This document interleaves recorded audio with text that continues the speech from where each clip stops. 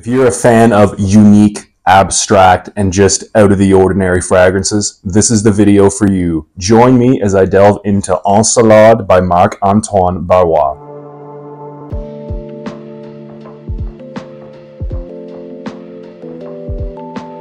Hey guys, welcome back to Real Scent Review. Uh, tonight I'm going to be presenting a really interesting fragrance here. This is like nothing else I've ever smelled.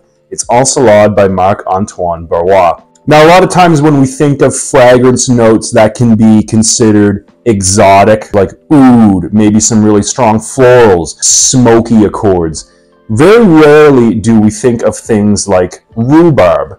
And this one here really highlights a note of rhubarb, mixes it with other notes, and creates just a spectacularly abstract fragrance. So this one here was a collaboration between Quentin Bisch and Marc-Antoine Barrois, the owner of the eponymous company.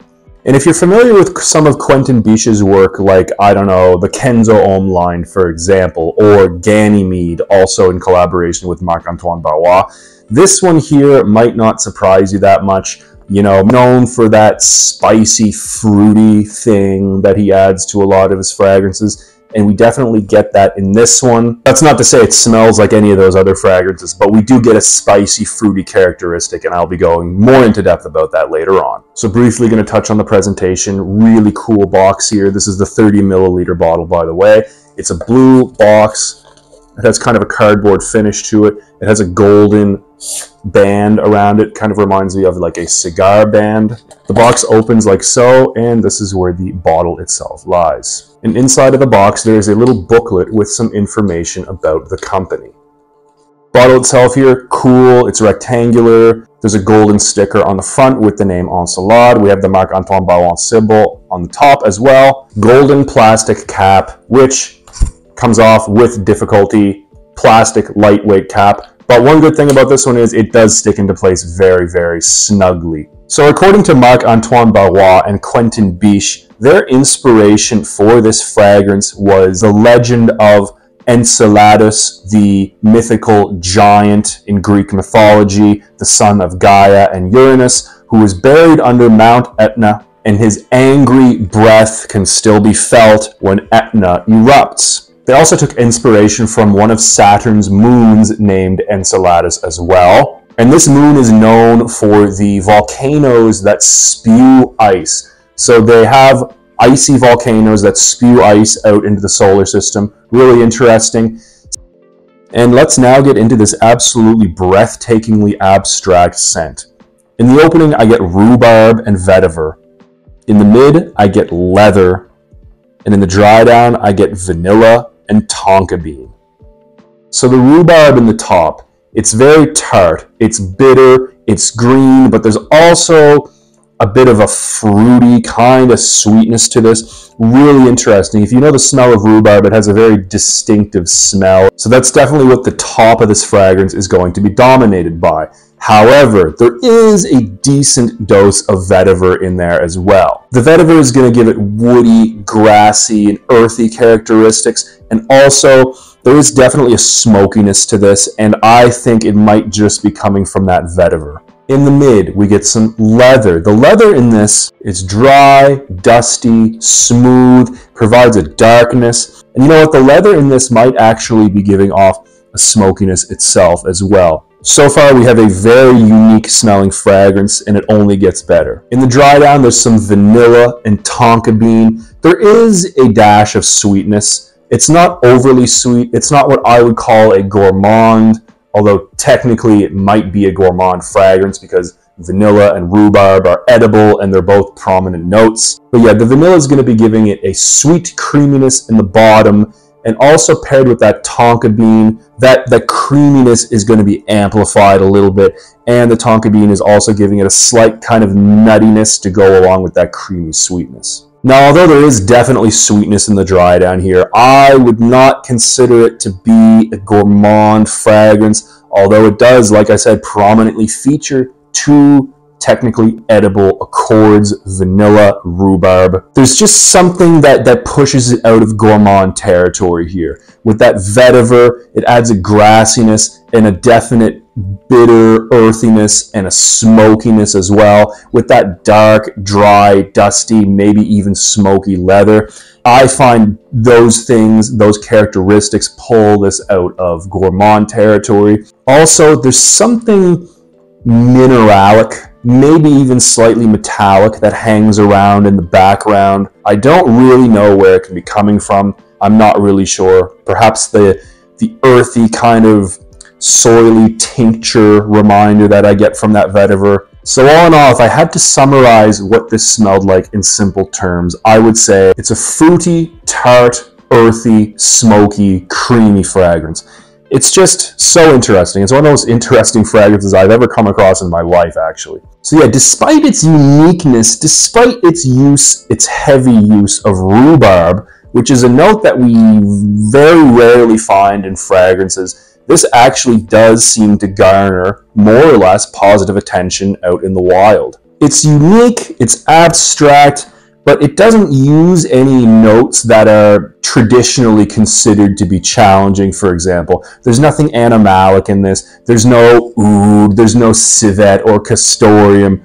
or, or anything like that at all. But it is, it's very different. A while ago, I did a review of Patchouli Koja by Nishane, which prominently features honey and there's some boozy characteristics. And I went over in that review how, you know, nothing considered to be traditionally challenging, but it's just, it's so different than most other fragrances out there. Some people could perceive it to be slightly challenging, and I definitely feel the same about this one here, Encelade.